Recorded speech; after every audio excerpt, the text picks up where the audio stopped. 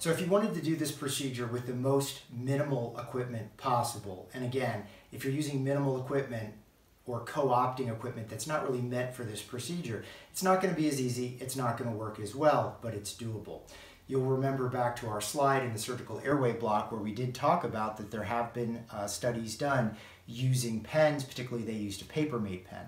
If you also look at the size recommended by the TCCC committee for the inner and outer diameters of the endotracheal tube or tracheostomy tube you use for the surgical airway, although the exact size that's desired uh, is a little bit smaller than this pen, the actual inner and outer diameter of this pen is very, very close. All right, so to get this pen into the configuration we need, basically we just need it as a metal tube. So we're going to take the tip off. We're going to get all the guts off. We're going to unscrew the back.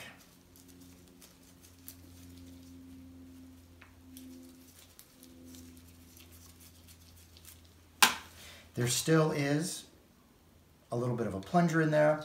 The easiest thing to do is just to push all that through, and then at this point, so now we've got our tracheostomy tube, and again, it's not ideally sized, but it's pretty damn close. So we've got our trachea, our standard orientation. I'm on the right side of the casualty at the head, head, feet. I'm going to put my finger, my palm on the chin, my thumb and middle finger on the uh, thyroid cartilage. I'm going to march down from the chin to the Adam's apple to the thyroid notch. I'm going to fall off of that into a little dead space. Then I'm going to feel a cricoid cartilage. That dead space is the cricothyroid membrane cricoid cartilage the whole way down to tracheal rings, jugular notch, back up tracheal rings, up to the cricoid cartilage, cricothyroid membrane. I'm going to get my finger out of the way, and I'm going to need something sharp. And again, for this procedure, much like holding a scalpel, I would hold this knife like we would hold a scalpel, and I'm going to cut through all of that overlying soft tissue. And I'm going to try to use my fingers to separate it out Obviously, even sharp knives, they're not as sharp as scalpels. And because I don't have forceps, I'm going to have to do a little bit of blunt dissecting with my fingers. And I'm going to cut down until I feel that cricothyroid membrane. It's right under my finger now. Then I can use the tip of the knife and I can breach through it. Put my finger back in it. Again, we always want something in that hole.